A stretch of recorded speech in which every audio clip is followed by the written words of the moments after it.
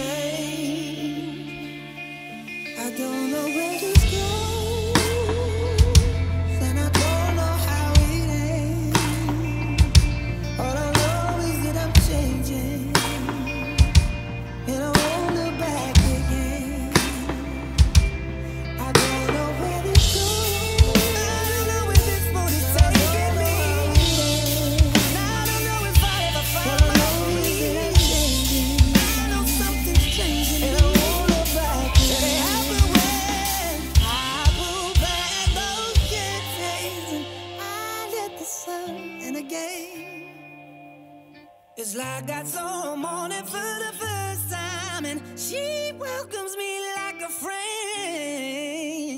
And when you spend so long hurting, you can't forget to believe in grace. Too many conversations with a burden got me crying out loud. The change.